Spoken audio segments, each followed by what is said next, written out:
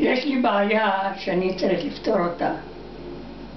למעלה, בארון, אנחנו רואים, יש איזה שקית. שקית, כאן, השקית הזו הכוונה, שקית שמכילה בתוכה ברזל כלים, ואני צריך להשתמש, אלא שאסור לי להשתמש.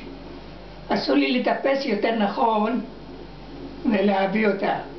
לא אני ולא עוזרת הבית שקיבלתי מהעוזר מהביטוח הלאומי. מצאתי לי כלי עזר כדי לא לטפס. מקל של מטאטא ישן שיצא משימוש, נתתי לו, מסמרתי לו מסמר, כופפתי אותו כמו בר, בזה אני אנסה להוריד את השקית.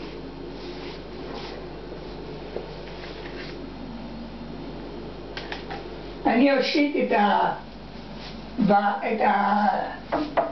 הטבעת כלפי השקית ואנחנו רואים היא כבר בידיים שלי, השקית כבר נמצאת בידיים שלי.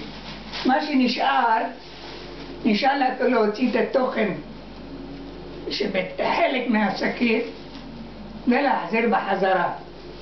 אז ככה, אחרי שאני מוציא את התוכן, אני שוב תוקע בתוך השקית, הניילון הזה, ושם שוב, כן, ואני מגיש אותו בחזרה. מגיש אותו בחזרה. הנה אפילו לסדר אותו, ככה, ככה שזה יצא ולא טיפסתי. וטוב שלא מטפסים. חסר לי שאני נופל, אני הופך להיות שבר כלי כזה שלא ניתן לתיקון.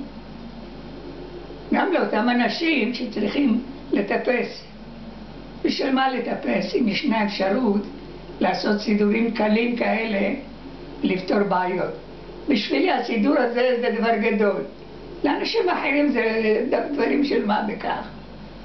אז ככה, תמיד אני מחפש לי כדי לשרוד במצב טוב, לעשות לי סידורים כאלה שאני אוכל לתפקד בבית.